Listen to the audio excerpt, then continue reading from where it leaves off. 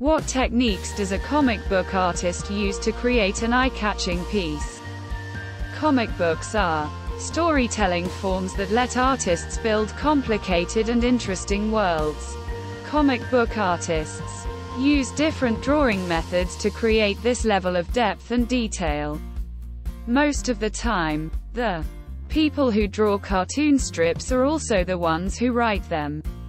An author may write the text in comic books or